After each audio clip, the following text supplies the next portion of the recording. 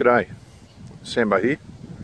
It is Friday 18th of August 2017 uh, about 5pm, a little bit before. As you can see the sun's just about down. Spring is just around the corner. Next Friday. There we go, look at that. Stupid bloody roo can't figure out. All it needs to do is that. There's another one.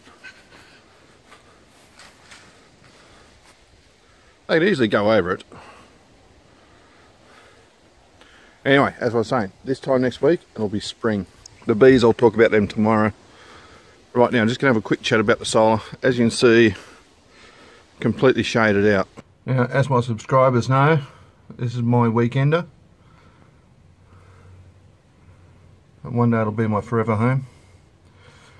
So, during the week I'm not here. So, let's try and get this without the flash showing up. The charge control's on float, just. So we'll run through this 26 point, so let's say 3 volts. Only getting 18 watts coming in off of that 2 kilowatt array.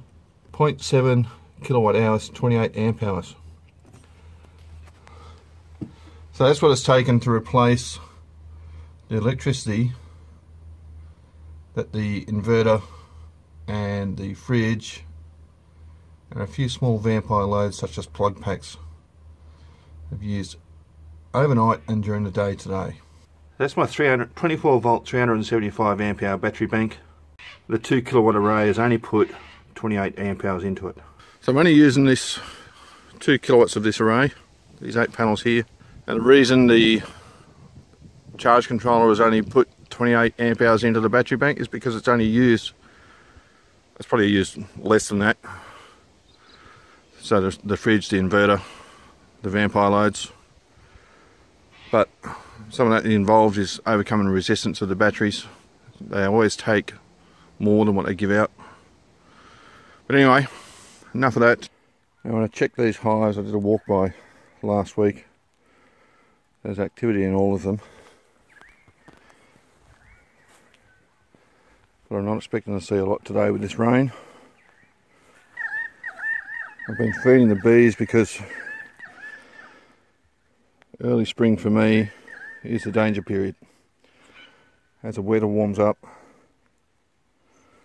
bees become more active and start consuming more food, more than what's actually available. So I'm going to leave the bees for another couple of weeks before I do any inspections. Might even be three weeks. Depends what else I've got going on. I might have to kill some sheep in a couple of weeks. Tomorrow, talk a bit more about the bees, talk about the firewood situation, and might be a couple of other things. I'll go check out the apples tomorrow to see how well they're budding up. So this is two hives I've got here at mum and dad's place. There's a six frame polystyrene nuc, eight frame wooden hive. See a little bit of activity there in polystyrene nuc. Not seeing anything in the wooden hive. I did have another polynuc over there. But I checked a couple of weeks ago and that was a dead out.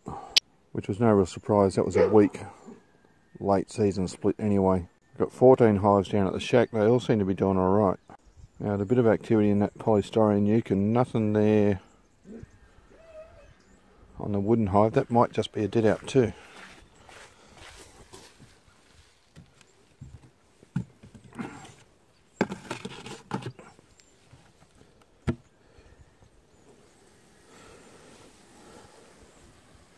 Nope.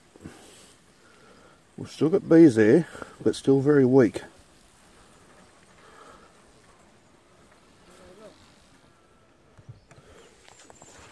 There's bees there. So we'll see how they go. They might just hang in. Alright, last week I put a bit of sugar syrup out for the bees. There's still some there, not a whole lot. A few dead bees there.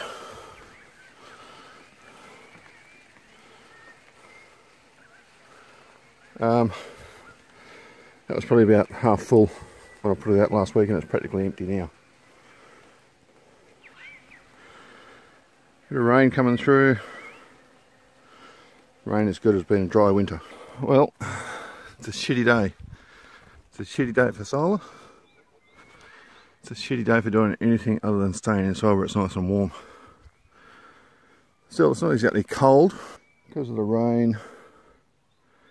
I've only got two-wheel drive. I'm not going to risk backing the ute into the yard to unload the firewood, so on the trolley it goes. That's today's job is to split that, get some of that inside. If I'm feeling energetic, I might even stack some firewood. Nothing from the apple trees yet, still budding up. No flowers. So, with this shitty weather, overcast, there's the sun. Let's go and have a look under the house and see what what the power situation is. So the charge controller is in absorb mode at the moment, bringing in about 430 watts, which isn't bad for this sort of weather. 0.7 kilowatt hours generated so far today. It's about 10 o'clock, maybe 10.30. 27 amp hours. That's the same amount of power as was generated all day yesterday when it was fine weather. And why is that? It's because I used plenty of power last night. Uh, the daily usage when I'm not here, it's only about 7.5% of the battery capacity. When, I'm, when I am here, gets up a little bit higher, up around 15-20%. So I'll come back this afternoon. We'll see what the power generation is like for the whole day. Well, I managed to get some wood split today some of it it's just a bit bloody tough so stuff it get to it with a chainsaw at least then I have some decent sawdust to use in the smoker for the bees so I'm still bringing in firewood quicker than what I'm using it and it's building up slowly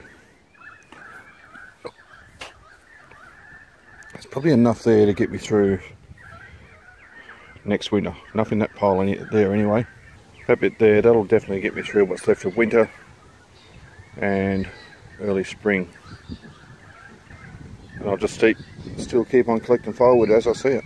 So about 2 o'clock this afternoon, the weather started clearing up.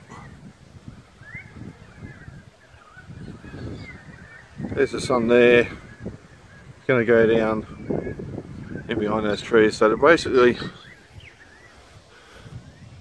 the panels are completely shaded out now. So it's, what is it, about 4 o'clock in the afternoon. We'll get underneath, have a look, see what the power generation has been like for today. I used the uh, table saw for probably 5 or 10 minutes. I used the electric kettle for about 5 minutes just while I was heating heating some water to put a load on the system so I could see what how much I could draw from these panels. Other than that, computer's been going all day, satellite modem's been going all day, fridge has been going all day. Ran the pump for about 10 minutes just to fill up the header tank. And that's pretty much been it. Not a whole lot of usage. So, charge controller is in float mode. see there, float. Only getting 67 watts coming in off the panels because of the shade. I already mentioned that.